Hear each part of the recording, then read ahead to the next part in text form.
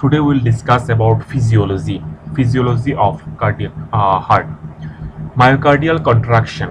Myocardial cells myocytes are about 50 to 100 micrometer long. Each cell branches and interdigitates with adjacent cells.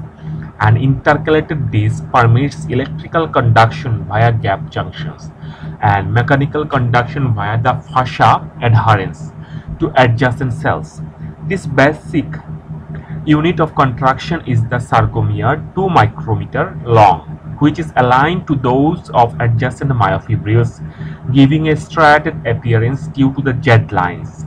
Actin filaments are attached to attached at right angles to the Z lines and interdigitate with thicker parallel myosin filaments. The crosslinks between actin and myosin molecules contain myofibrillar adenosine triphosphatase ATPase, which breaks down adenosine triphosphate ATP to provide the energy for contraction. Two chains of actin molecules form a helical structure with a second molecule, tropomyosin, in the groups of the actin helix and a further molecule complex, troponin, attached to every seventh actin molecule. During the plateau phase of the action potential, calcium ions enter the cell and are mobilized from the sarcoplasmic reticulum. They bind to troponin and thereby precipitate contraction by shortening of the sarcomere through the interdigitation of the actin and myosin molecules. The force of cardiac muscle contraction or inotropic state is regulated by the influx of calcium ions through slow calcium channels. The extent to which the sarcomere can shorten determines stroke volume of the ventricle.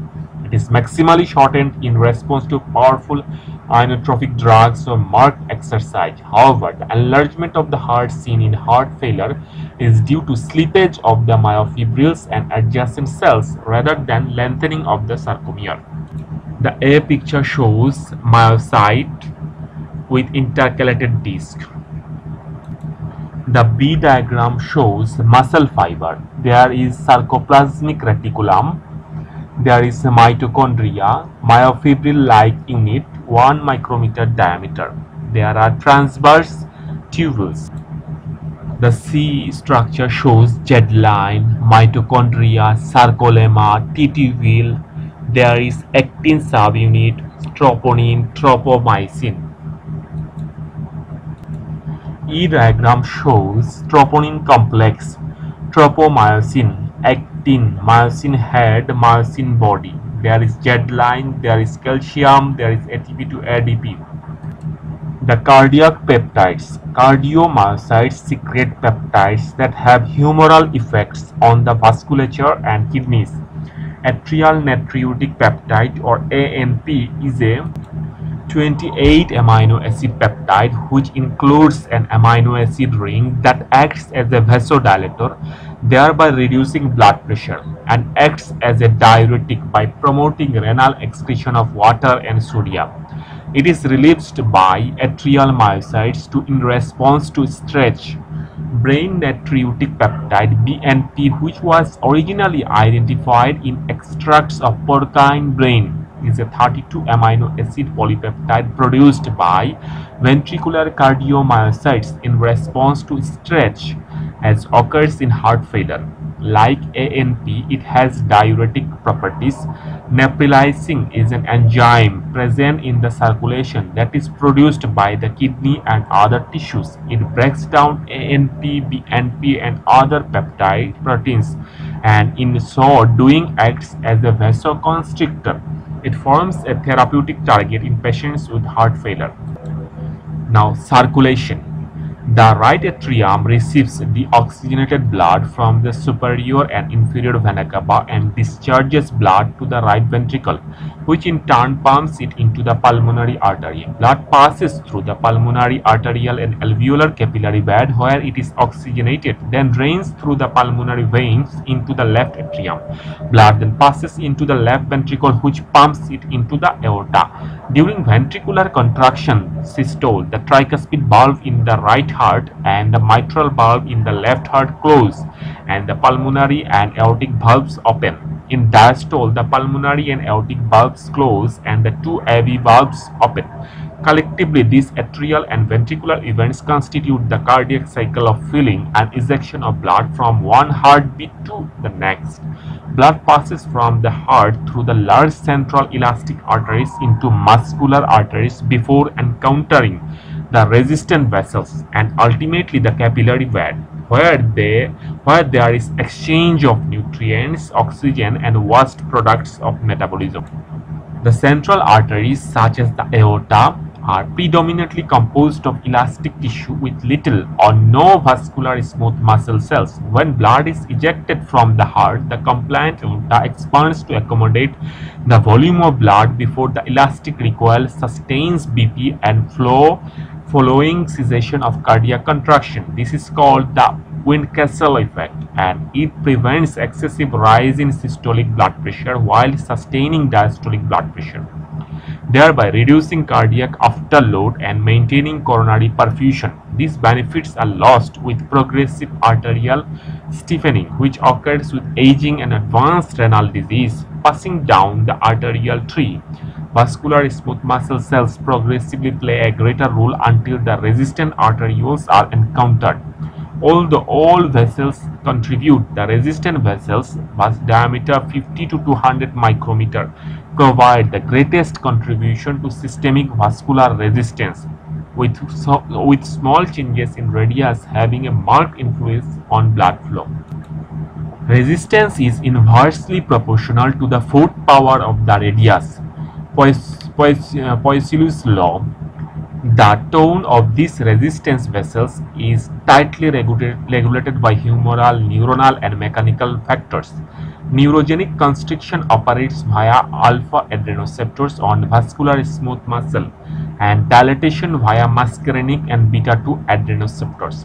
In addition, systemic and locally released vasoactive substances influence tone Vasoconstrictors include noradrenaline, that is norepinephrine, angiotensin 2 and endothelin 1, whereas adenosine, bradykinin, prostaglandins and nitric oxide are vasodilators.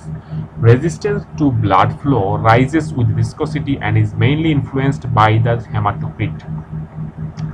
Coronary blood vessels receive sympathetic and parasympathetic innervation while stimulation of alpha adrenoceptors causes vasoconstriction and stimulation of beta-2 adrenoceptors causes vasodilatation.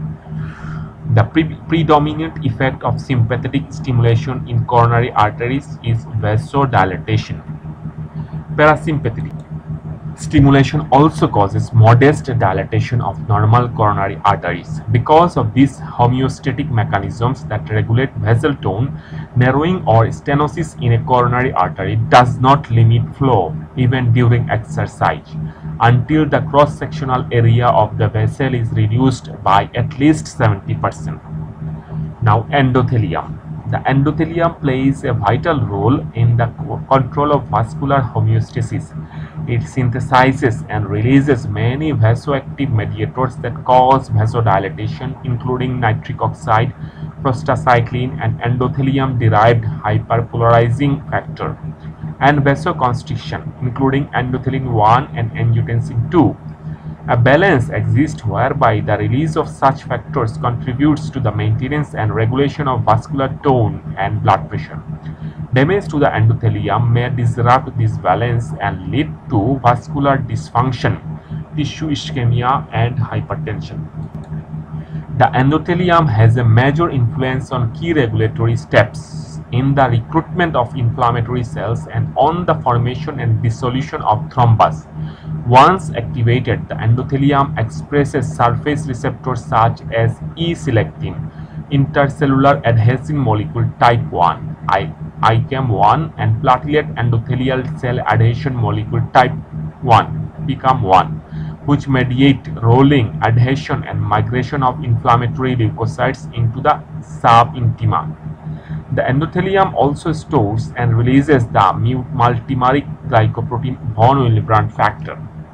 which promotes thrombus formation by linking platelet adhesion to denuded surfaces, especially in the arterial vasculature. In contrast, once intravascular thrombus forms, tissue plasminogen activator is rapidly released from a dynamic storage pool within the endothelium to induce fibrinolysis and thrombus dissolution. These processes are critically involved in the development and progression of atherosclerosis and endothelial function and injury are seen as central to the pathogenesis of many cardiovascular disease states. Now respiration, cardiac output, blood pressure and pulse rate change with respiration as the result of changes in blood flow to the right and left heart.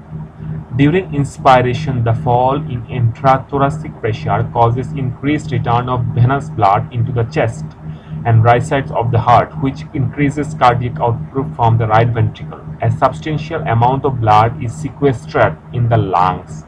However, due to increased capacitance of the pulmonary vascular bed, which causes a reduction in blood flow to the left side of the heart, this causes a reduction in cardiac output from the LV and slight fall in blood pressure.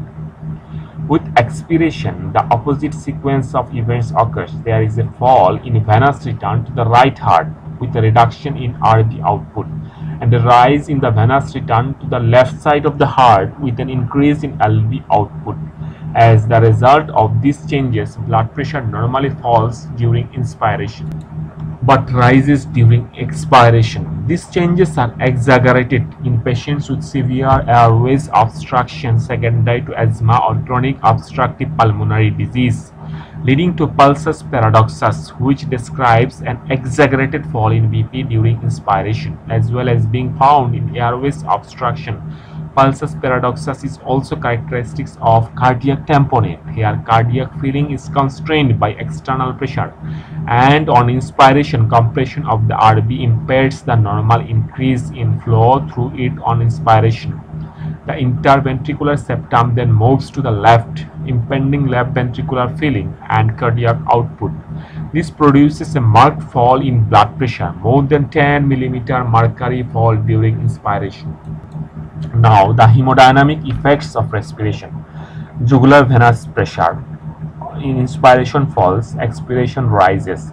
Blood pressure falls in inspiration up to 10 mm mercury, rises during expiration. Heart rate accelerates during inspiration, slows during expiration. Second heart sound splits during inspiration, fuses during expiration. Inspiration prolongs right ventricular ejection, de delaying P2 and shortens left ventricular ejection, bringing forward A2. Expiration produces the opposite effects. Thank you friends.